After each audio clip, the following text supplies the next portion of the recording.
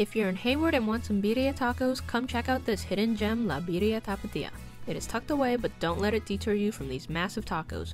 Four for $15, and the consomme is included. Girl that took our order, it's really nice. She said her parents during COVID had created this uh, company just to kind of help with expenses and things like that. So you're definitely supporting a small business.